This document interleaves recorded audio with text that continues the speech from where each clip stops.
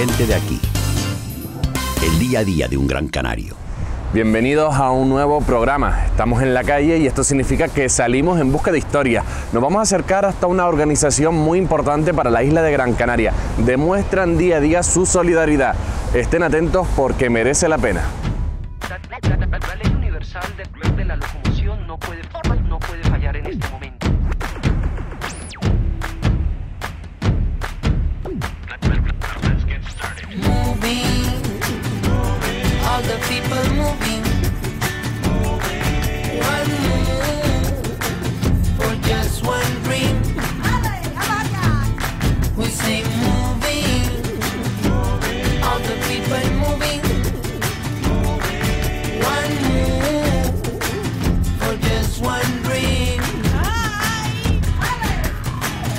de pequeños movimientos, movimientos en reacción.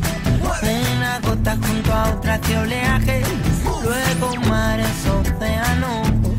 Nunca una ley fue tan simple y clara. Acción, reacción, repercusión. Nos encontramos en el barrio del Lazo, en Las Palmas de Gran Canaria, donde la ciudad de San Juan de Dios tiene su sede. Hoy en Gente de Aquí vamos a conocer pues todos los datos, todos los talleres, todas las actividades que hace esta importante organización para la sociedad gran canaria. Buenos días. Buenos días. Muchas gracias por aceptarnos y por recibirnos en esta casa de San Juan de Dios, que hace una labor tan importante para los gran canarios y para la provincia de Las Palmas. No, a ustedes por pensar en nosotros. Hoy vamos a conocer todos los entresijos de San Juan de Dios, de la ciudad de San Juan de Dios. Nos vamos a encontrar muchas cosas, mucha actividad, ¿verdad? Hombre, todas centradas en atención a la discapacidad. Tenemos distintos proyectos, atendemos la discapacidad de 0 hasta 65 años y se encontrarán con distintos proyectos que si quieren Vamos a conocerlo. los conocemos. Tiempos de pequeños movimientos, movimientos en reacción. Una gota junto a otra que oleaje, luego mares, océanos. Nunca una ley fue tan simple y clara. Acción, reacción, repercusión. Murmullos se unen, forman gritos. Juntos somos evolución. Moving, all the people moving.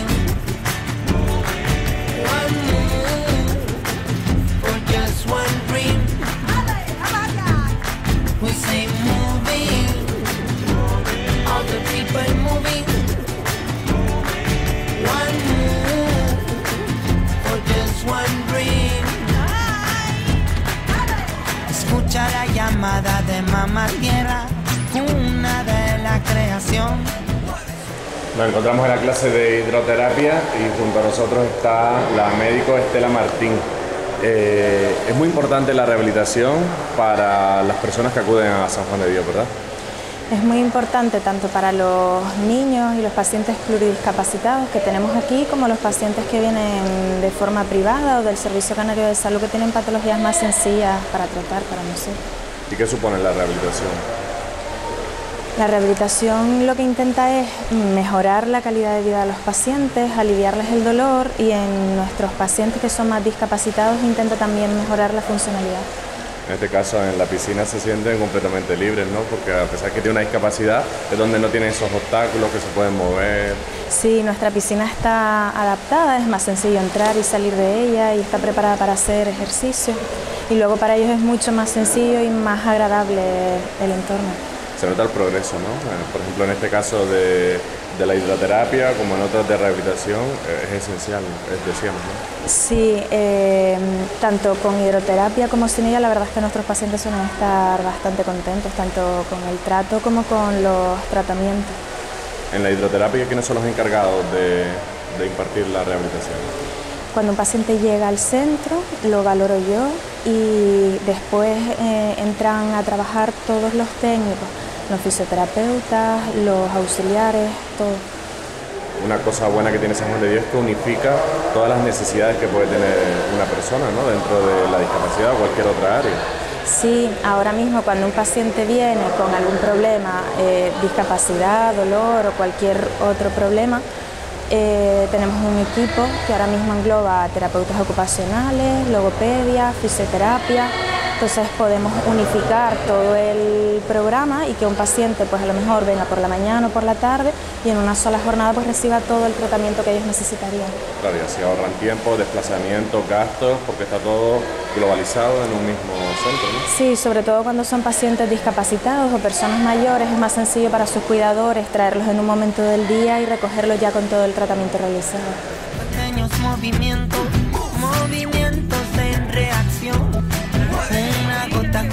junto a otra que oleaje, luego mares, océano. Nunca una ley fue tan simple y clara. Acción, reacción, repercusión. Murmullos se unen, forman gritos. Juntos somos evolución. Loli, eres profesora de educación especial, tutora junto con tus compañeras de este grupo de, niños y niñas. ¿Qué están haciendo ahora mismo?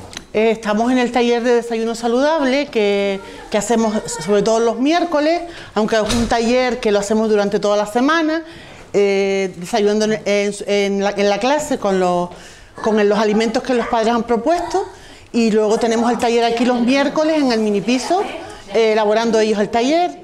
Parte del taller también es un- una, vez en sema- una vez al mes que salen al supermercado a comprar para luego hacer la- la- el desayuno.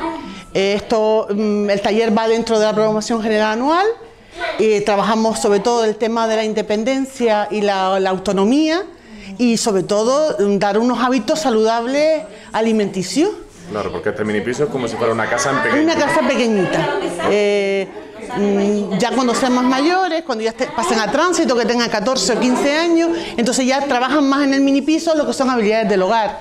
Ahora nosotros lo estamos usando para el tema del desayuno saludable, para que ellos mismos sean autónomos, eh, a secuenciar las actividades que hacemos y adaptarlas a las capacidades individuales de cada alumno. Claro, vemos cómo están disfrutando, ¿no? Haciéndose Sí. las galletitas. Bueno, eh, vamos a ver, el venir al mini piso es una actividad y el ir al supermercado es una actividad súper motivadora para ellos porque salen del entorno clase, trabajamos los mismos objetivos porque si decoramos, trabajamos con los colores, con la forma, eh, si- intentamos llevar todos los objetivos a lo que es el taller de, de desayuno saludable. Claro, estamos viendo que están haciendo la galleta, pero han ido al supermercado, han mirado precios, han hecho la lista, que todo. supone, vamos. Y sobre todo, ahora estamos haciendo las galletas con motivo porque estamos en este mes, ¿no? Pero siempre intentamos adaptar el taller que hacemos pues a- al, al centro de interés que trabajamos.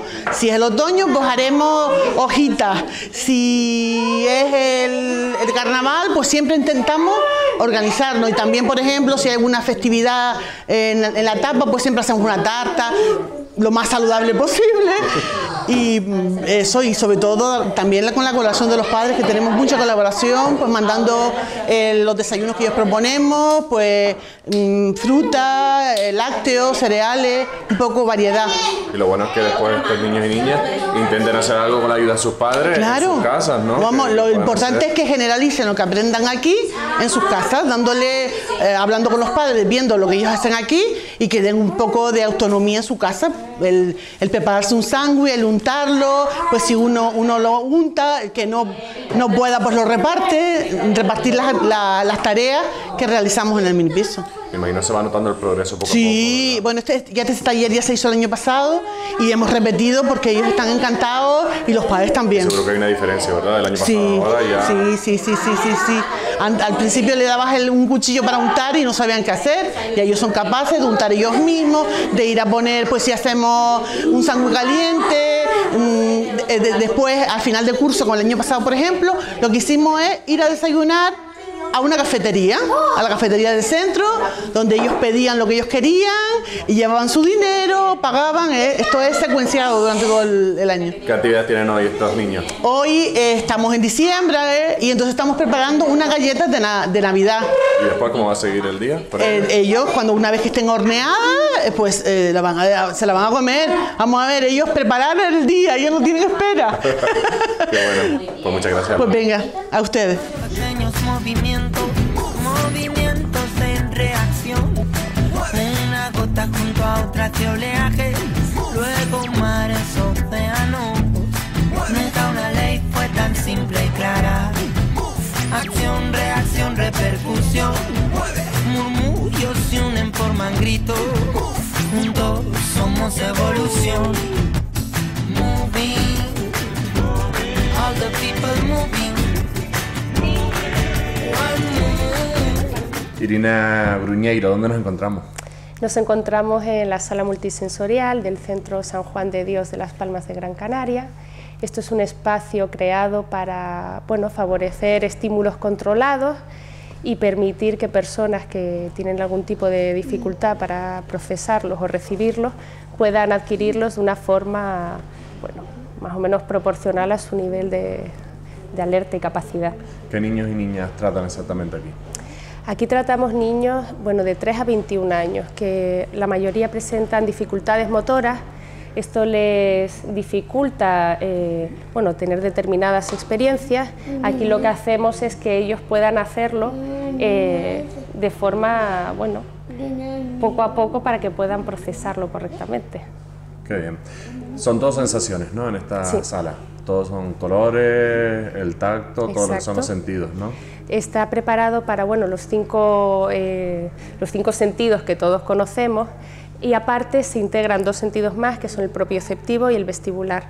El vestibular está relacionado con el equilibrio y el movimiento y el propioceptivo con la posición del cuerpo y la capacidad para, para sentir nuestro propio organismo y la musculatura, el esqueleto y, y demás. Se nota la diferencia ¿no? cuando quizás se coja al niño o niña desde más pequeñito a una mediana edad, ¿no? El trabajo. Por supuesto, es muy importante en, en, estos aspectos la intervención temprana. No es lo mismo un niño que ya nos viene con, con 10, 12 años, que el cerebro ya no, no hay tanta plasticidad cerebral, entonces los aprendizajes eh, siempre hay, ¿no? pero son más lentos. No es lo mismo un niño desde pequeñito, lo que vamos a hacer es, eh, ya aparte del desarrollo normal de cualquier niño, lo que hacemos es potenciar al máximo las capacidades que tengan y, y bueno, se saca lo mejor. ¿Es un trabajo duro que necesita tiempo o se va notando en el progreso? La mayoría es a largo plazo. O sea, los objetivos siempre los marcamos, son de carácter multidisciplinar y los, los marcamos para, bueno, sin, sin, un determinado tiempo. O sea, entendemos que es a largo plazo, no queremos tampoco meter prisa, cada niño tiene su ritmo y su capacidad y, y, la realidad es que bueno, tanto las familias como nosotros vamos viendo cómo mejoran día a día un poquito y, y bueno, cuando ves los vídeos de cuando llegan aquí pequeñitos y, y, después lo ves al cabo de unos años, es evidente cómo, cómo han evolucionado. ¿Y qué estás trabajando con Claudia? Con Claudia estábamos con el tubo de burbuja. Claudia, entonces aquí lo que tenemos es que tiene el movimiento, tiene los colores, la causa-efecto, tiene un dispositivo en el que puede, ellos pueden apretar y según el color que aprieten va cambiando de color el tubo de burbuja. Entonces, bueno, según como sea el niño, podemos trabajar con la luz apagada, con la luz encendida, eh, decidimos meter color o no, no todos los niños, eh, según la capacidad visual que tengan o si hay alguna afectación neurológica, no le podemos meter mucho estímulo. Entonces vamos probando a ver cómo su cerebro lo va, lo va eh, procesando. Pasa que ella tiene más interés en las personas que en los objetos. Está aquí con el compañero. Oye, pequeños movimientos, movimientos en reacción. Una gota junto a otra que oleaje, luego mares, océanos. Nunca una ley fue tan simple y clara. Acción, reacción, repercusión. Murmullos se unen, forman gritos. Juntos somos evolución. Sabina, junto a nosotros nos encontramos a profesionales de este centro, San Juan de Dios, y a padres y madres. ¿Qué están haciendo? Ahora mismo lo que están es poniendo en común el plan de trabajo que los técnicos han diseñado para el niño, para compartirlo con las familias, para consensuar criterios, objetivos y hacer un trabajo conjunto, que es lo más importante, que el trabajo no se pare en lo que se hace en el centro, sino que sea toda una continuidad. Es fundamental el papel de los padres, ¿verdad? Importantísimo, sin ellos no hacemos nada, ¿no? Y además trabajamos para el niño y para la familia, porque hay que tener en cuenta que la integración, el primer nivel de integración es la familia. Entonces hay que ayudarla a que, te, a que disponga de todos los apoyos y recursos que ayuden que ese niño este, normalice su vida y, se, y esa familia pueda ser una vida completamente normal. Claro, y que conozcan lo que se trabaja, lo que están trabajando con eso, con sus hijos, con sus familiares, para que después continúe el trabajo en casa, ¿no? Para que sepan lo que están haciendo y si se lo pueden hacer en casa, pues mucho mejor también, ¿no? Claro, no, y no solo saber, o sea, es importantísimo saber, pero también a nosotros nos interesa mucho saber qué necesidades hay en casa para nosotros adaptar el plan de trabajo a las necesidades de del entorno del niño, que es de lo que se trata, que tan pronto sea posible el niño deje de estar en un recurso muy especializado y se normalice y se integre, bien en otra en guardería escuela infantil o bien en casa, en fin, que normalice un poco su vida. ¿Y con qué periodicidad tienen estas reuniones con los padres? Tenemos cada, dependiendo del, ritmo del niño, si es un niño que, que tiene muchos, objetivos a corto plazo, pues son más frecuentes, pero una media de cada tres meses. Hay una inicial que es un poco más larga y luego es un seguimiento. Pequeños movimientos, movimientos en reacción. Una gota junto a otra que oleaje, luego mares, océanos. Nunca una ley fue tan simple y clara. Acción, reacción, repercusión. Forman gritos. Juntos somos evolución. Moving. All the people moving. Débora Santana, ¿cuál es tu trabajo en San Juan de Dios? Hola, yo mm, soy logopeda. Me encargo pues de reeducar los posibles trastornos en, tanto en el habla, lenguaje y comunicación que, que tengan los, los, usuarios. Y también trabajamos la, eh, la deglución eh, como posible requisito al habla.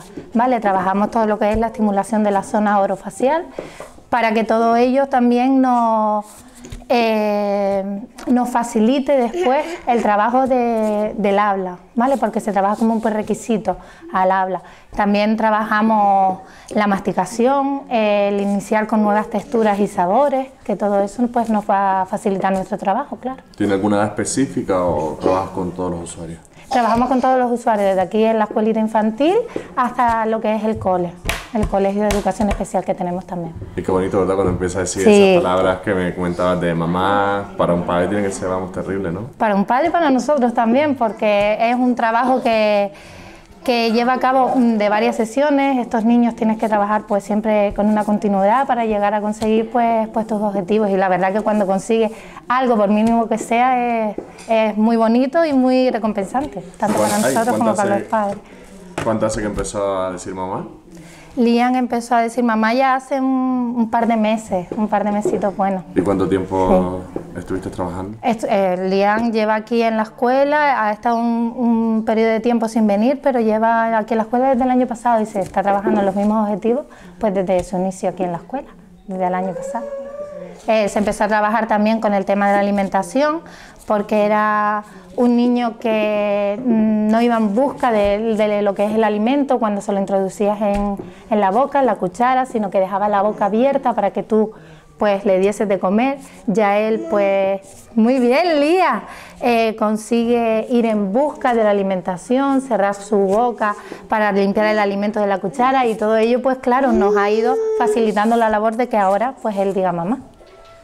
Eli Castellano y Katy Peñata ahora mismo están trabajando con estos niños. ¿Cuál es la labor de ustedes exactamente en San Juan de Dios?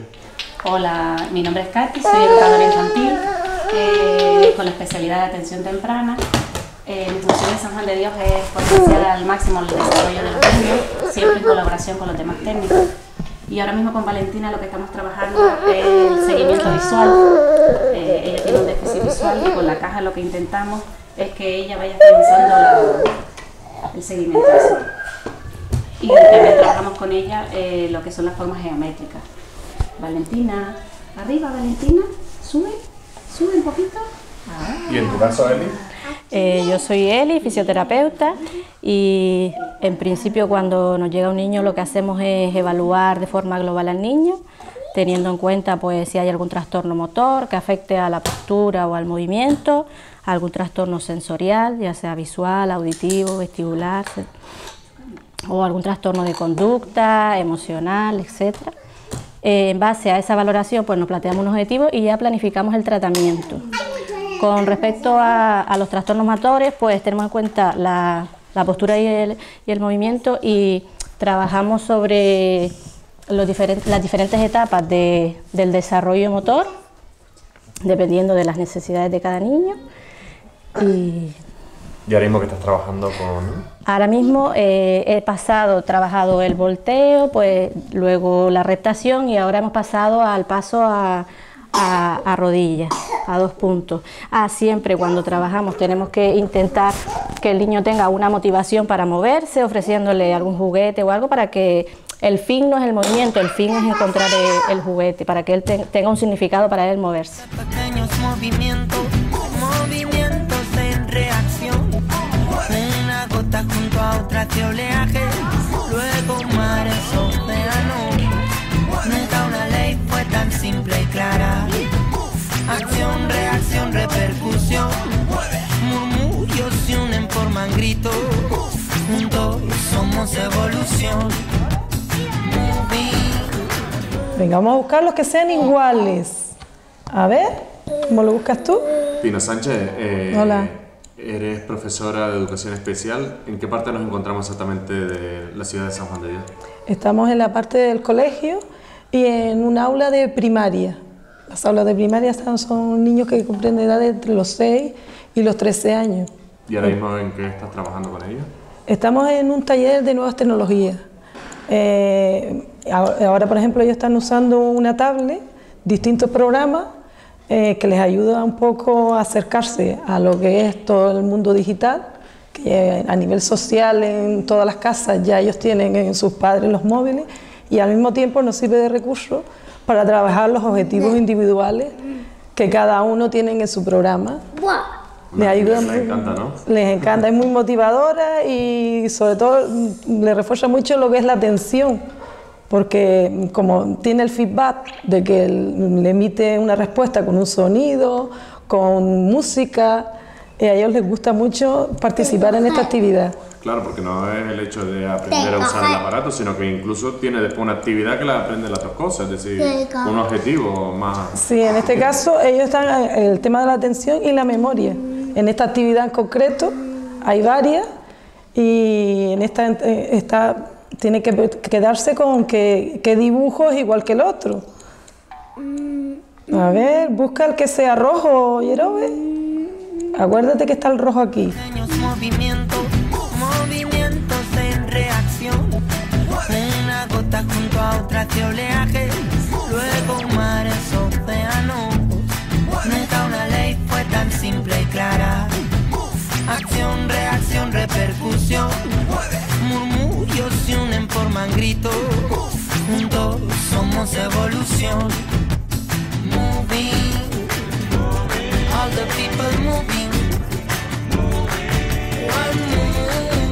Guasimara Matías, terapeuta ocupacional. Nos encontramos en el centro de día. ¿Qué es exactamente el centro de día? Pues el centro de día es un recurso para chicos con discapacidad mayores de 18 años eh, hasta cualquier edad. En principio nosotros lo que damos es un servicio a las familias de 9 a 5 de la tarde y los chicos pasan ese tiempo aquí en el que reciben todo lo que necesitan a nivel asistencial, como es comida, como son sus cambios y todo lo que ellos necesiten. Y además nosotros hacemos unos talleres para que la parte ya cognitiva y de motricidad y de funcionalidad, mm, como son, pues ser autónomo en sus AVD diarias, que son las actividades de la vida diaria, pues ellos lo ejerciten aquí, se mantengan en lo que ya tienen, que ven que hayan conseguido a lo largo de, de su vida y también nos proponemos objetivos nuevos a trabajar con ellos y a través de, de los talleres, como la actividad que estamos viendo ahora, pues se consigue que ellos se mantengan físicamente activos, que tengan, que tengan autonomía y demás. ¿Qué están haciendo ahora mismo en este taller? Ahora mismo este es el taller de psicomotricidad y estamos viendo un circuito de motricidad gruesa en el que ellos pues mantienen toda la- todo lo que es la actividad física a nivel global. Y como esta, muchas más actividades que hacen en este centro de Sí, ahora mismo por la época del año en la que estamos lo estamos haciendo dentro en el tatami, pero hay otras actividades que hacemos en el exterior, aprovechamos los jardines y hacemos circuitos fuera, tenemos redes para jugar también con pelota o muchas otras actividades. ¿Qué supone para ellos este centro de día? Pues supone relacionarse con otros chicos de, su edad que tienen además a, lo mejor patologías parecidas. Entonces es salir de casa, es tener eh, amistades, eh, es como normalizar su vida. Porque fuera de lo que es el ámbito escolar, cuando ellos ya llegan a los 18 años o a los 21, como es el caso de nuestro colegio que llega hasta los 21, ya muchos pues están en casa y no tienen esa posibilidad de desarrollarse a nivel sobre todo de lo que es mm, los individuos de su edad. Entonces para ellos es un gran avance, además aquí se lo pasan muy bien, aparte de desarrollar sus capacidades y luego para las familias también es, muy importante el tiempo que ellos pasan aquí porque es o sea, lo que fomentamos es la conciliación familiar.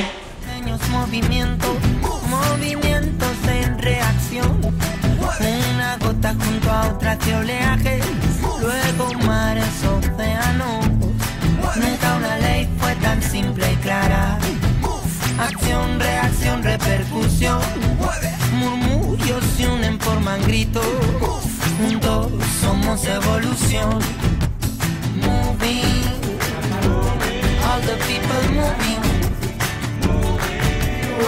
Bueno, nos encontramos en otro de los talleres del centro de día, en este caso es el taller cognitivo, que es donde trabajamos todas las habilidades cognitivas de los chicos, la memoria, la atención, eh, la, orientación temporal también. Entonces, uno, una de las de los trabajos que hacemos en la atención temporal es lo que está haciendo hoy Yesenia, Yesenia Corujo, que es la, auxiliar que acompaña a los chicos, y estamos trabajando acerca de, la Navidad, que es el tiempo que viene ahora, para orientar a los chicos en lo que es el año y, y después a partir de ahí pues trabajamos muchas otras habilidades como son también la memoria, la atención, el cálculo y nos valemos de lo que va pasando durante el, durante el año para que ellos enlacen.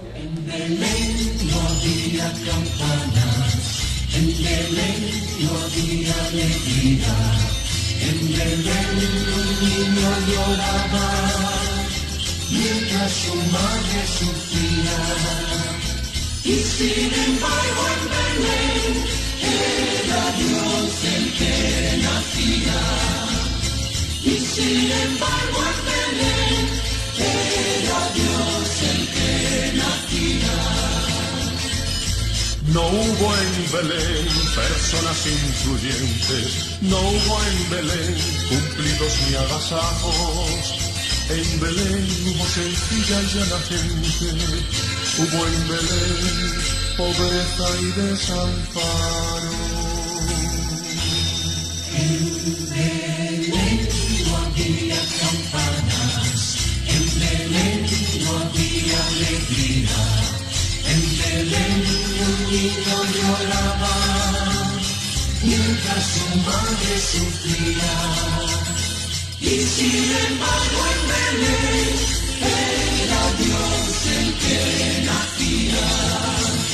Y sin embargo en Belén era Dios el que nacía.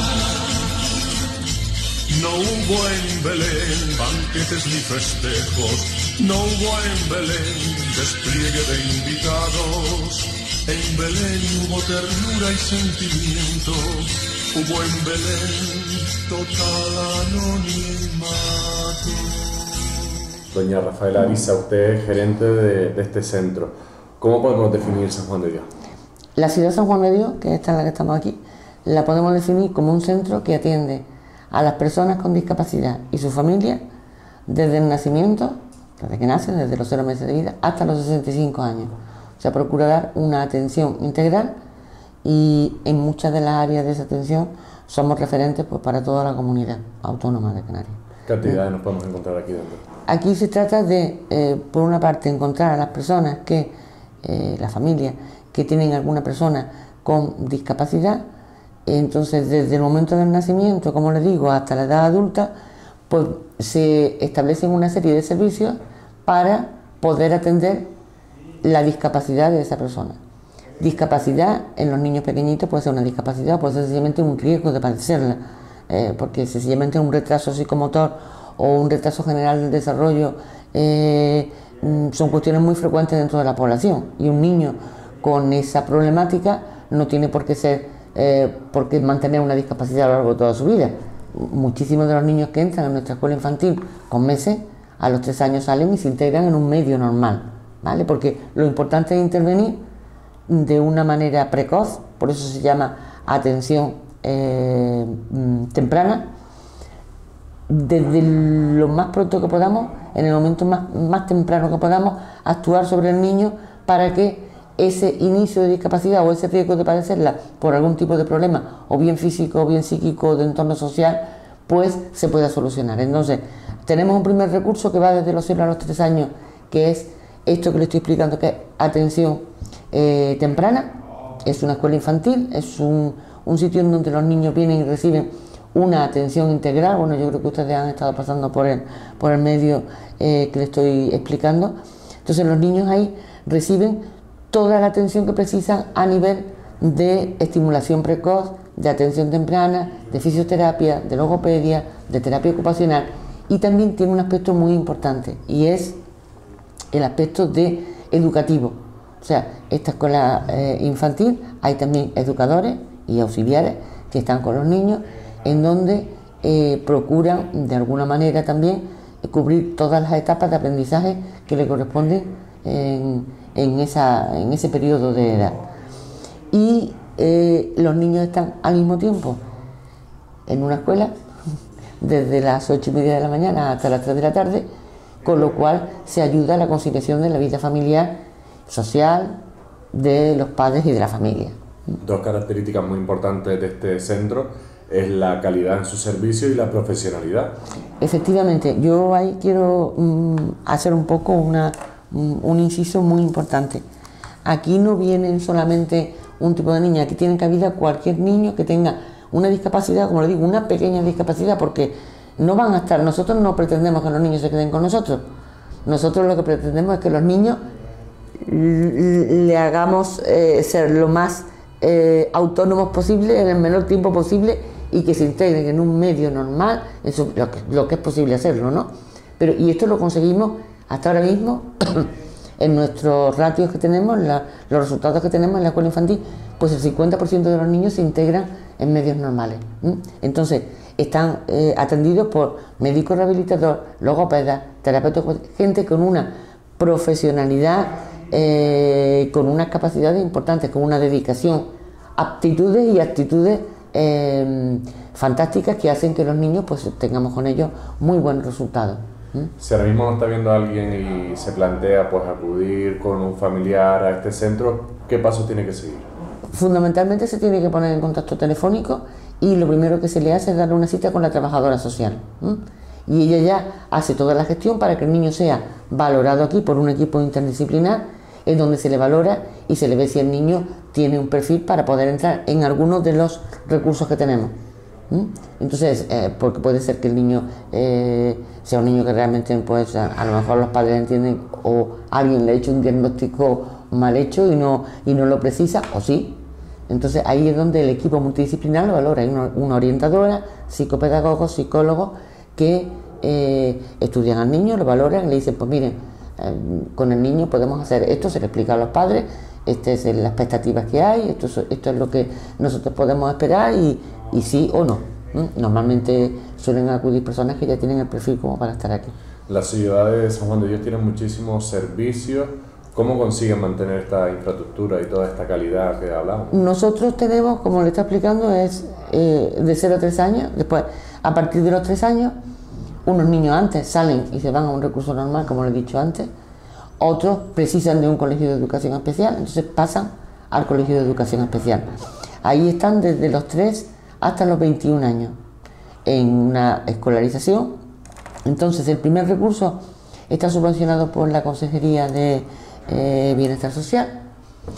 El Colegio de Educación Especial está concertado con la Consejería de Educación. Y después tenemos de estos niños que están tanto en, en atención temprana como en el colegio, algunos de ellos permanecen con nosotros aquí porque además del problema de la, de la discapacidad que puedan tener, pues eh, están en un sistema de acogida, o sea, son niños que están tutelados por, por los servicios sociales. Entonces nosotros viven con nosotros en régimen de residencia eh, y esto lo financia ahora mismo la Dirección General del Menor. Entonces hay unas plazas donde los niños viven aquí eh, con nosotros, podríamos decir que somos su- sus padres adoptivos, sus tutores, ¿no? Eh, le digo tanto los de mm, los, pequeñitos como los que tienen entre 3 y 21 años. En la residencia no, en la residencia están nada más hasta los 18 años. Los 18 años tienen que salir a otro recurso. Entonces nosotros ya este año tenemos dos plazas benéficas porque niños que han salido de, de la residencia de, podemos decir, de, de menores, aún no tenemos concertado nada y eso lo está pagando ahora mismo la obra social. Pero entendemos que este centro tiene unos recursos para personas con ese tipo de discapacidad que no se tiene en ningún otro, no hay otro centro que tenga esas características. Son niños, algunos de ellos de los que tenemos en la residencia, pues que no existe un recurso igual, parecido sí, pero igual no. Entonces entendemos que si se le está dando un tipo de atención hasta los 18 años, cuando cumple los 18 años no hay motivo para que no se le siga dando el mismo tipo de atención de una manera eh, cualitativa. Entonces ahora mismo estamos en negociaciones para eh, intentar que la Consejería eh, también de Asuntos Sociales pues financie plazas de, con niños de estas características de residencia. Después ya, a partir de los 21 años, en régimen ambulatorio, como es el Colegio de Educación Especial o como es la Escuela Infantil, tenemos el centro de día que está funcionando desde el año 2012. Entonces, ahí tenemos, pues privados, porque hay personas que, se, que lo pueden pagar y vienen y tienen aquí a, a, a sus hijos, a sus sobrinos o a sus hermanos, eh, ya es mayor, son ya mayores de 21 años y ahora mismo pues tenemos una capacidad de 60 plazas y tenemos eh, 40 plazas eh, funcionando. En parte por, hay algunas que son benéficas, otras que son eh, privadas y la mayoría son del Cabildo, de la Consejería de Asuntos Sociales del Cabildo y también financiados por el IRPF a nivel del Ministerio del, del Gobierno. Y después tenemos un concierto de rehabilitación externa en donde nos envían pacientes pues para para servicio, lo que servicio de rehabilitación. Eh, tanto rehabilitación normal, la que entiende normalmente la gente como rehabilitación, como rehabilitación logopédica, que a partir de este año también hemos accedido al concurso público y vamos a hacer rehabilitación logopédica ambulatoria. Entonces un poco este es nuestro panorama. Después tenemos también una mini residencia de 30 personas que tienen discapacidad por enfermedad mental crónica.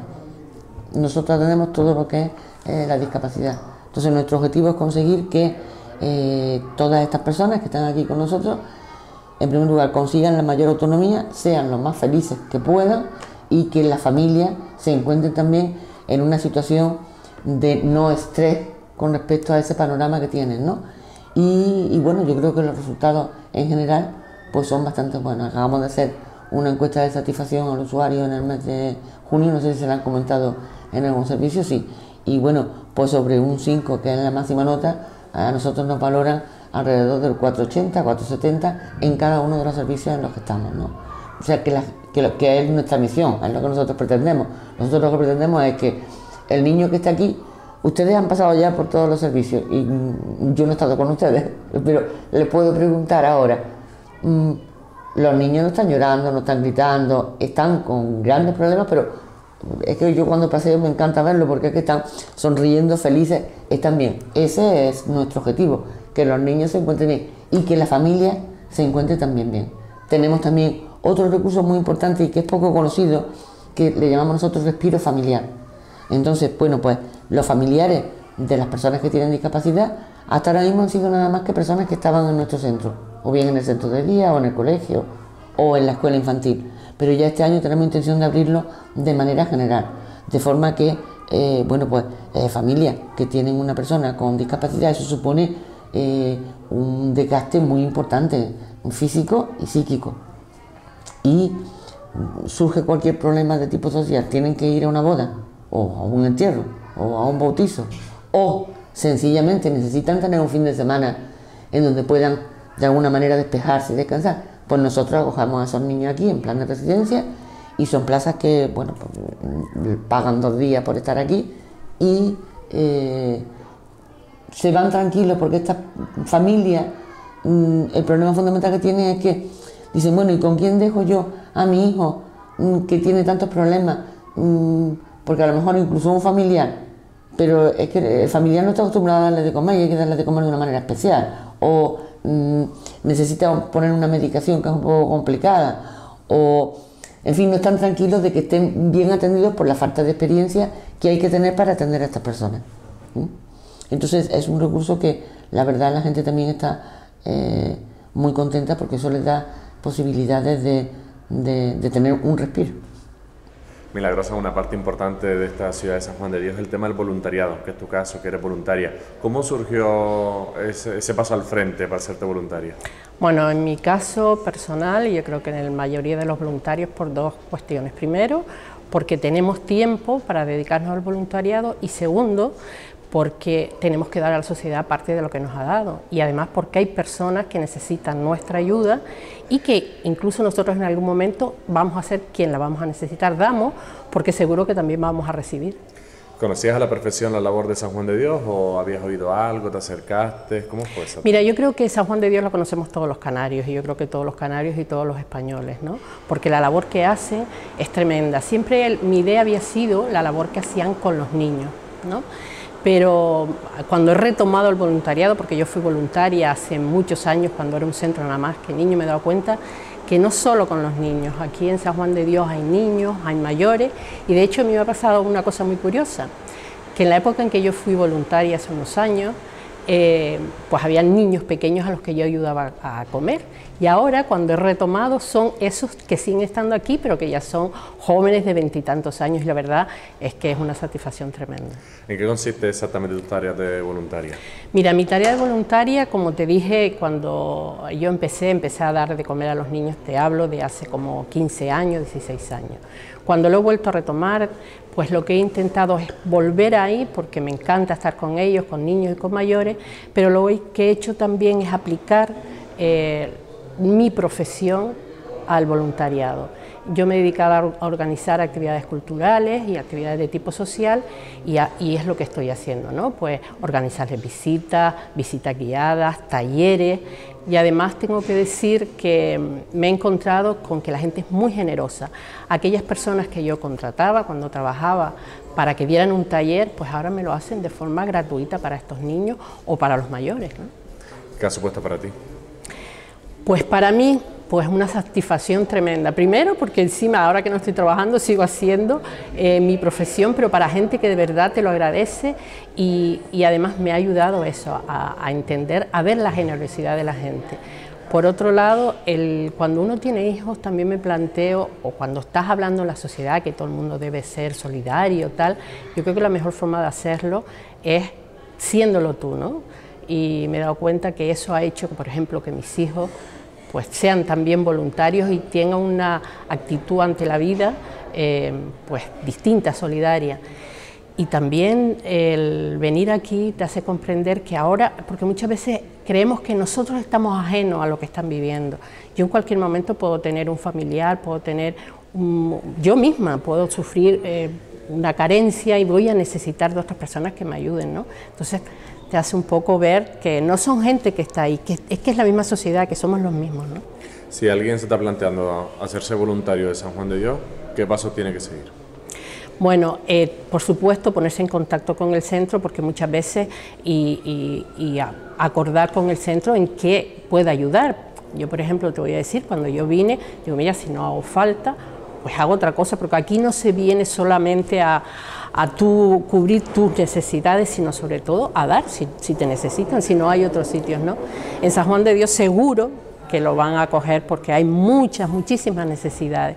Y lo que digo es primero llamar y ponerse de acuerdo porque a cada uno se le asigna aquellas tareas para las que esté más capacitada, pero yo no solo eso, sino para lo- en donde más necesidades hay, ¿no? Y simplemente eso, llamar y les animo porque además es más lo que recibes que lo que da, eso se los puedo asegurar. Pues mm, sí me gustaría, antes de acabar la entrevista, decirte una cosa y es que el voluntariado, por supuesto, tiene, tiene su mérito, pero el mérito a quien hay que reconocérselo es las personas que trabajan aquí. Yo cuando estoy a lo mejor una hora, un día o alguna mañana y yo digo, ahora me voy a mi casa y se acabó y ellos tienen que estar aquí día a día trabajando con personas que- que- que tienen sus grandes problemas, muchos de ellos, no, no solo con los niños, sino con los mayores. Y me gustaría que hubiese un reconocimiento de la sociedad, porque aunque sea un trabajo por el que cobre, mm, ese trabajo nunca se paga, realmente. Pues eso, darle las gracias a los trabajadores. Esta es la realidad y el gran trabajo que realiza la ciudad de San Juan de Dios. Hemos conocido pues toda su actividad. Esperamos que les haya gustado, que hayan conocido datos, información. Ya lo saben, si quieren hacerse voluntarios, si quieren colaborar, pues ya nos han comunicado cuáles son las vías. Les agradecemos a ustedes su atención y les esperamos en un próximo programa en Gente de aquí.